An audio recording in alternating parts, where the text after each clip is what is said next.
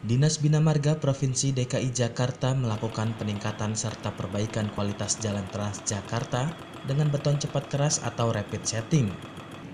Hal ini disampaikan Kepala Dinas Bina Marga Provinsi DKI Jakarta Hari Nugroho saat meninjau pengerjaan betonisasi di Jalan Jenderal Sudirman Setiabudi Jakarta Selatan Kamis malam tanggal 5 September 2019.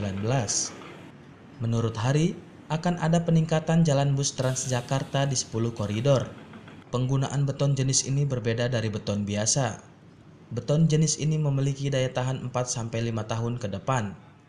Kita mau memperbaiki ya jalanan Transjakarta atau busway kita yang memang sudah mengalami kerusakan.